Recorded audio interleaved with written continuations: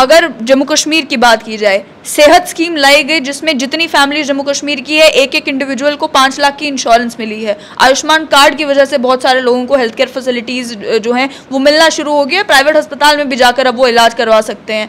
उसके अलावा यहाँ पर एम्स जम्मू में बनने जा रहा है। ये सारी वो चीज़ें हैं जो डायरेक्टली लोगों, जम्मू कश्मीर के लोगों के साथ जुड़ी हुई हैं। और इस सब का क्रेडिट जो है, वो जम्मू कश्मीर की सरकार, चाहे वो लेफ्टिनेंट गवर्नर की सरकार हो भी लेती है और भारतीय जनता पार्टी भी लेती है। तो लोगों को उससे ज़्यादा फ़र्क पड़ेगा, वो उससे ज़्यादा इंप्रेस होंगे या फिर वो इस बात से ज़्यादा इंप्रेस होंगे कि आम आदमी पार्टी ने पंजाब में पचहत्तर मोहल्ला क्लिनिक्स खोले। क्या आम आदमी पार्टी पंजाब और दिल्ली बेचकर जम्मू कश्मीर में सियासत की शुरुआत करना चाहती है? आम आदमी पार्टी की अगर बात की जाए, पिछले दिनों आपने देखा कि नया दफ्तर लेने के बाद से पदयात्रा की और थोड़ा एक्टिव जो है वो सियासत में आम आदमी पार्टी नज़र आई। लेकिन जब बात आती है कि दिल्ली में क्या हो रहा है, पंजाब में क्या हो रहा है, कहाँ पर किन स्कीम्स का इस्तेमाल किया जा रहा है तो उसको पूरा पूरा लाभ उठाने की कोशिश आम आदमी पार्टी उन सभी राज्यों में करती है जिन राज्यों में अभी आम आदमी पार्टी मज़बूत नहीं है। इस बार बात करने के लिए आज क्योंकि इंडिपेंडेंस डे है तो आज भी पंजाब में कुछ मोहल्ला क्लिनिक्स जो हैं, वो आम आदमी पार्टी ने खोली हैं। इस पर समझना चाहेंगे कि ये जम्मू कश्मीर के लिए रेलिवेंट आखिर कैसे है? तो मेरे पास, मेरे साथ जो है, आम आदमी पार्टी के तीन लीडर हैं, इनसे बात करेंगे। एडवोकेट संजीव सरीन मेरे साथ हैं। मुझे ये बताएँ कि पंजाब में अगर कोई क्लिनिक्स जो है, वो आम आदमी पार्टी खोलती है, जम्मू कश्मीर के लोगों के लिए ये रेलिवेंट कैसे है? सबसे पहले तो मैं आपके दर्शकों को पचहत्तर में स्वतंत्रता दिवस की हार्दिक शुभ शुभकामनाएँ देता हूँ। रही बात आपके क्वेश्चन की जहाँ जहाँ हमारी सरकार है खासकर दो जगह ही है फ़िलहाल तो दिल्ली और पंजाब में आने वाले जगह वक्त भी बताएगा कि कितनी जगह और बढ़ती है। एक पार्टी की कथनी और करनी में फ़र्क पड़ता चलता है। हम्म। जिस वक्त हमारी पंजाब में सरकार बनी थी तब काफ़ी लोगों को शंका थी कि जो फैसिलिटीज़ हमने दिल्ली में दी हैं और जो वायदे गारंटीज दी हुई हैं हमने पंजाब में, क्या वो हम पूरी कर सकेंगे या नहीं? और तकरीबन तमाम पॉलिटिकल पार्टीज़ जो हमारे अगेंस्ट थी, खासकर पंजाब की बात करें, चाहे वो कांग्रेस थी, चाहे वो अकाली दल, भाजपा की कम्बिनेशन की रहे हैं। या बाकी छोटी पार्टियाँ या बड़ी पार्टियाँ भी जो थी सारे एक शंका व्यक्त करते थे कि वाकई में ऐसे वादे पूरे हो सकते हैं या नहीं। आपकी जानकारी के लिए बता दूँ अभी पाँच महीने पंजाब में पूरे नहीं हुए हैं। हम्म। और आम आदमी पार्टी ने आज पचहत्तरवें स्वतंत्रता दिवस के लिए घोषित किया था कि पचहत्तर आम आदमी क्लिनिक खोले जाएँगे। और आज पंजाब की सरकार ने पचहत्तर आम आदमी क्लिनिक खोल दिए हैं। इससे आपको एक चीज़ तो बिल्कुल क्लियर हो जाती है कि आम आदमी पार्टी जिस बात की गारंटी देती है, वो पूरा करती है। ये सारी बातें तो तब रेलिवेंट हो जाती हैं जिस समय चुनाव आ चुके हों मैनिफेस्टो आप अपना शेयर कर रहे हो, आप विजन बता रहे हो कि आप एक इलाके को लेकर क्या कुछ करेंगे तो तब आप कह सकते हैं कि हमने यही सब कुछ जो है दिल्ली में किया, पंजाब में किया और यही सब कुछ हम जम्मू कश्मीर में भी कर रहे हैं। अभी फ़िलहाल चुनावों को लेकर कोई इन्फॉर्मेशन नहीं है कि चुनाव कब तक होंगे और अंदाजे से यही लगाया जा रहा है कि फ़िलहाल अगले साल जो है या उससे भी अगले साल जो है चुनावों का अंदेशा है। ऐसे में इसी समय पे जम्मू कश्मीर के मुद्दों पर बात करने के सिवा ये बताना कि हम पंजाब में ये कर रहे हैं या हम दिल्ली में ये कर रहे हैं, उससे जम्मू कश्मीर के लोगों को क्या फ़ायदा? क्या आप ये क्लेम कर रहे हैं कि जम्मू कश्मीर में भी अगर आम आदमी पार्टी चुनकर आती है तो यहाँ पर भी आप मोहल्ला क्लिनिक्स खोलेंगे? बिल्कुल सही आपने कहा। और ये पब्लिक के बीच में एक धारणा बनाने का भी है कि आम आदमी पार्टी जो कहती है, वो करती है। आपकी जानकारी के लिए बता दूँ, आज तो मैं पूरे भारतवर्ष के लोगों को बहुत ज़्यादा मुबारकबाद देना चाहता हूँ कि हमारे आदरणीय प्रधानमंत्री श्री नरेंद्र दामोदर मोदी जी ने आज से तीन चार साल पहले एक सरेआम भाषण दिया था और कहा था कि पचहत्तर में स्वतंत्रता दिवस पर पूरे हिंदुस्तान में एक भी बेघर नहीं होगा। हर एक को पक्का घर दिया जाएगा, पक्का घर ही नहीं दिया जाएगा, पानी का कनेक्शन भी दिया जाएगा, बिजली का कनेक्शन भी दिया जाएगा, गैस का कनेक्शन भी दिया जाएगा और पक्की छत दी जाएगी। और एक भी आदमी जहाँ एक भी परिवार हिंदुस्तान में 15 अगस्त 2022 यानी कि आज के दिन, बिना घर के नहीं होगा। मैं ये आपको डिफ्रेंशिएट करके बता रहा हूँ कि आज से तीन चार साल पहले की डेट दी हुई है। आज डेडलाइन खत्म हो गई। मैं उन सभी से, मैं तो माफ़ी नहीं मांग सकता। कहता हूँ कि भारतीय जनता पार्टी की तरफ़ से एक एपोलॉजी तो निकलनी चाहिए, माफ़ी तो मांग सकती है कि उन्होंने जो वादा किया था वो पूरा नहीं कर सके और बाकी चीज़ों की तरह ही ये भी एक जुमला निकला। भारतीय जनता पार्टी की उन्होंने बात किया मेरे साथ एडवोकेट अरविंद बंदराल भी हैं। आप मुझे ये बताएँ कि भारतीय जनता पार्टी गुजरात में क्या कर रही है? या भारतीय जनता पार्टी किसी और स्टेट में क्या कर रही है? क्या जम्मू कश्मीर के लोगों को उस बात से फ़र्क पड़ता है? अगर उस बात से फ़र्क नहीं पड़ता तो इस बात से फ़र्क क्यों पड़ेगा कि आम आदमी पार्टी दिल्ली या पंजाब में क्या कर रही है? देखिए, जब दो हज़ार चौदह में भारतीय जनता पार्टी चुन के आई थी तो उन्होंने गुजरात मॉडल आगे रखा था। तो अगर हम आम आदमी पार्टी अगर दिल्ली मॉडल आगे करती है तो इससे किसी को कोई दिक्कत नहीं होनी चाहिए मेरे हिसाब से। दिल्ली में बड़ी ज़्यादा अच्छी तरक्की हुई है। वहाँ पे जैसे ही आप स्कूल के एजुकेशन लेवल देख लीजिए, कितना बड़ा है। और बिजली में कंसेशन भी मिली है और मोहल्ला क्लिनिक्स वगैरह का कंसेप्ट जो है, वो दिल्ली से आया है। तो उसी चीज़ को आगे हम रख के अपने जम्मू की भी डेवलपमेंट की बात रख रहे हैं। क्या पॉसिबल है, जैसे जम्मू कश्मीर की टेरेन है, कि आपको दिल्ली में पहाड़ी इलाके तो मिलेंगे नहीं, आपको दिल्ली में रजौरी, पुंछ, डोडा, किश्तवाड़ इस जैसे जो है दूर दराज इलाके तो मिलेंगे नहीं। तो क्या पॉसिबल है कि मोहल्ला क्लिनिक्स या एजुकेशन सिस्टम में जो रिफॉर्म की आप बात कर रहे हैं, वो जम्मू कश्मीर की इस टेरेन को ध्यान में रखते हुए, यहाँ की यूनिक प्रॉब्लम्स को ध्यान में रखते हुए, क्या यहाँ पर वो सारा कुछ करना मुमकिन है? एक तो ये चीज़ है कि यहाँ थोड़ा सा इजी है मेरे हिसाब से। दिल्ली में भीड़ भाड़ ज़्यादा है, जगह कम है। अगर यहाँ पे पहाड़ी इलाका है तो हमारे पास जगह अवेलेबल है और यहाँ की ज़रूरत ज़्यादा है। मेरे हिसाब से जो पहाड़ी दूर दूर दराज के इलाके हैं, वहाँ से लेकर जम्मू हॉस्पिटल तक पहुँचने में एक वक्त निकल जाता है। ये आज की ज़रूरत है कि वहाँ पे क्लोजेस्ट कोई प्लेस होना चाहिए जहाँ पे आपको मेडिकल फैसिलिटी इमरजेंसी के टाइम पे मिल सके। और यहाँ पे जगह भी अवेलेबल है कोई जगह की भी दिक्कत नहीं है तो उस हिसाब से ये इजी भी हो जाता है टास्क जगह की एक, एक जगह की बात आप सही बता रहे हैं।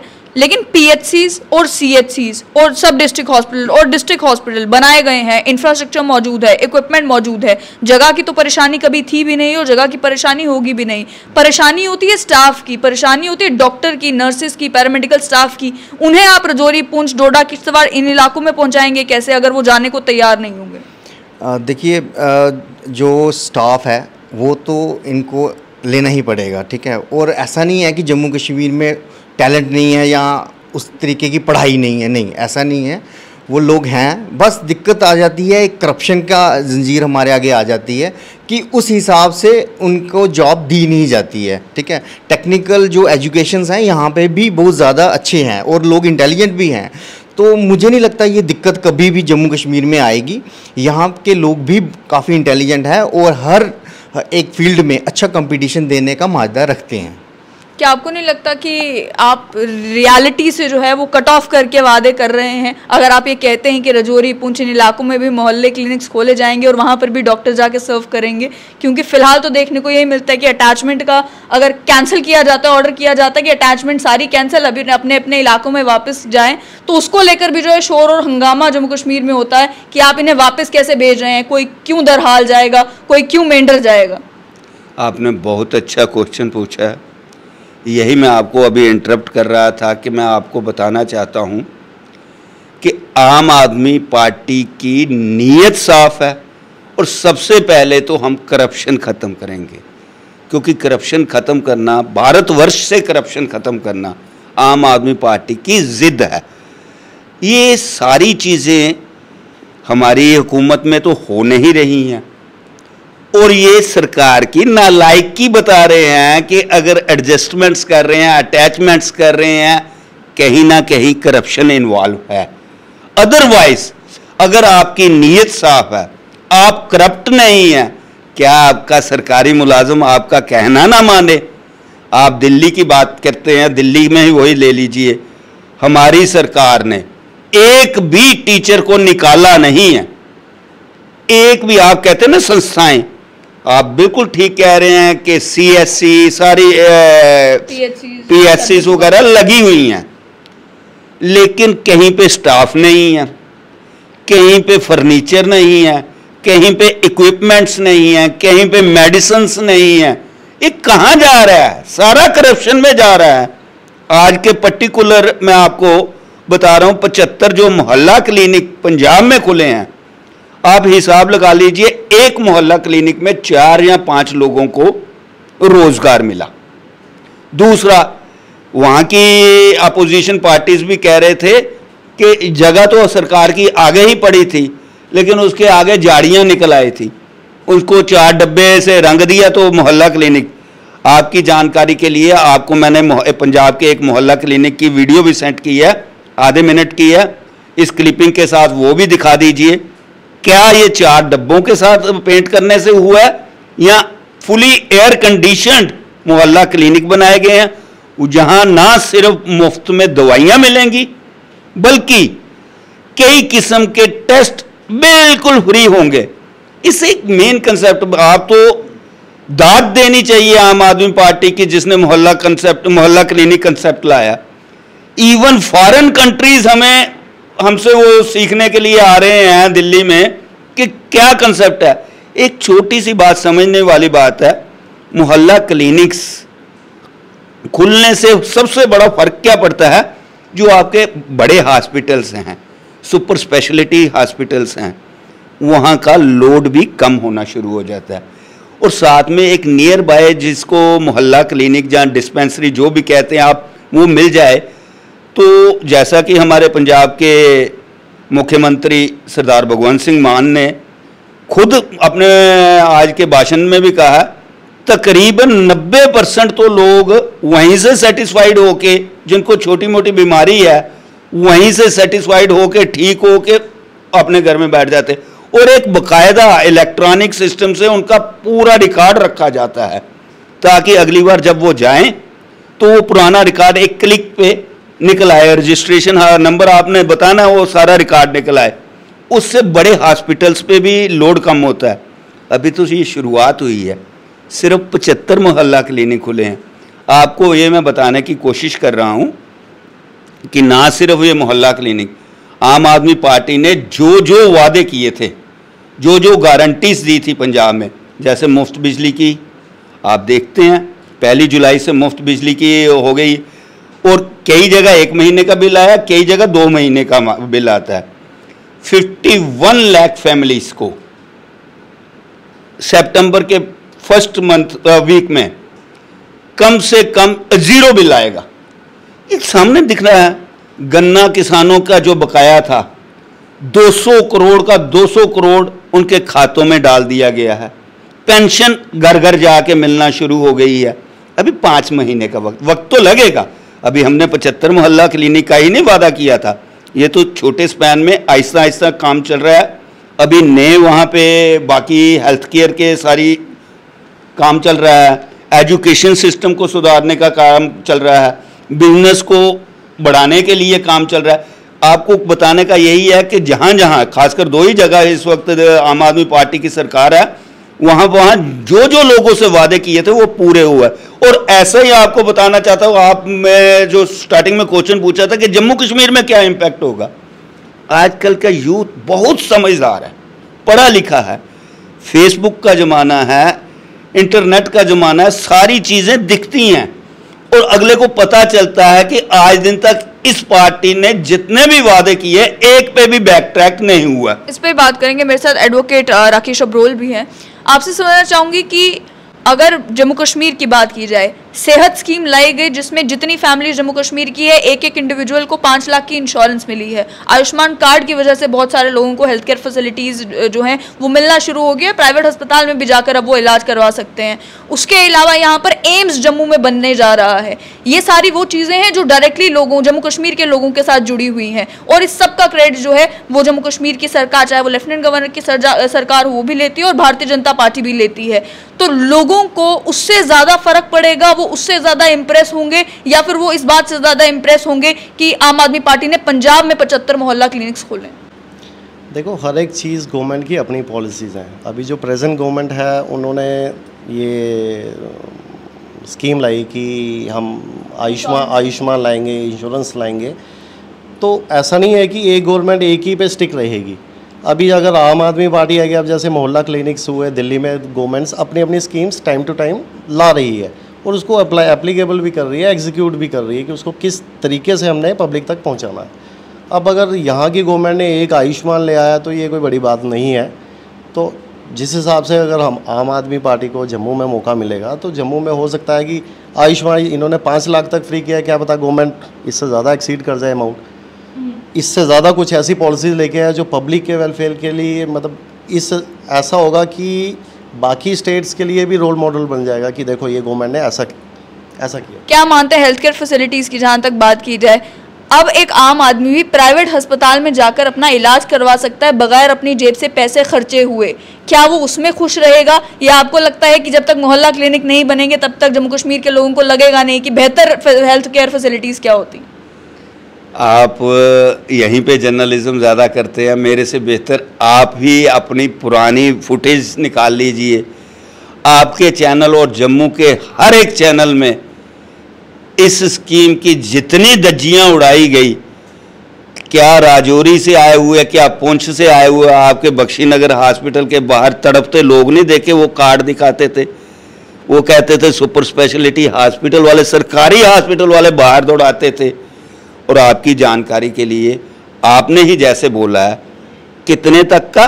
पाँच लाख रुपए तक का इलाज एक परिवार का एक साल में आयुष्मान स्कीम के तहत फ्री है। हम्म। यही है ना? ऑन द कॉन्ट्रेरी दिल्ली में आपका बगैर कार्ड बनाए एक करोड़ रुपए का क्यों नहीं इलाज है? वो भी फ्री है और एक का नहीं है पूरे परिवार का नहीं है गरीब का नहीं है अमीर का सभी का फ्री है। इसमें और आयुष्मान स्कीम पे। आप खुद डिफ्रेंशिएट कर लीजिए, तभी दिल्ली में आयुष्मान स्कीम नहीं लागू हुआ। दिल्ली में दिल्ली सरकार की स्वास्थ्य क्योंकि वहाँ की जनता जानती है कि हमें पाँच लाख से अगर एक्सीड करता है तो पैसे जेब से देने पड़ेंगे। वहाँ जितना मर्ज़ी इलाज है, जितना बड़े से बड़ा इलाज भी है, वो भी फ्री है, छोटी से छोटी दवाई है, वो भी फ्री है। वही हाल है हमारा एजुकेशन सिस्टम का, बिल्कुल फ्री है। कहने को तो आप कह सकते हो जे एंड के में भी एजुकेशन फ्री है। मेरे को एक संस्था दिखा दीजिए, जहाँ फ्री है। एडमिशन के नाम पे अलग लूट है एनुअल चार्जेस के नाम पे अलग लूट है यूनिफॉर्म के नाम पे अलग लूट है। मिड डे मील की हालत आप मेरे से बेहतर कई बार आप, आपका चैनल दिखा चुका है। ये फ़र्क पड़ता है और सबसे बड़ा फ़र्क जो है ना मेन एक नीयत का होता है। आम आदमी पार्टी की नीयत साफ़ है और साथ में जिस वक्त आप करप्शन हटा देते हैं ना सिस्टम अपने आप सिस्टमेटिकली बहुत ज़्यादा फ़र्क पड़ जाता है। और corruption is the evil of all the bad things एक करप्शन को हटा दीजिए। आपके पास ना तो सरकार के पास पैसे की कमी रहती है, और सारे प्रोजेक्ट अपने आप कंप्लीट होने शुरू हो जाते हैं, अगर अच्छी नीयत और साफ़ नीयत हो तो। बहुत बहुत शुक्रिया। तो आपने साफ़ तौर पर सुना कि आम आदमी पार्टी का ये कहना है कि जो तरीका दिल्ली में अपनाया गया एजुकेशन का और हेल्थ केयर की फैसिलिटीज़ को बेहतर करने का, जिसे अब रेप्लिकेट किया जा रहा है, पंजाब में भी उसी मॉडल को और उसी आइडिया को आगे लेकर आम आदमी पार्टी जम्मू कश्मीर में भी चलना चाहती है, अगर जनता इन्हें मौका दे तो।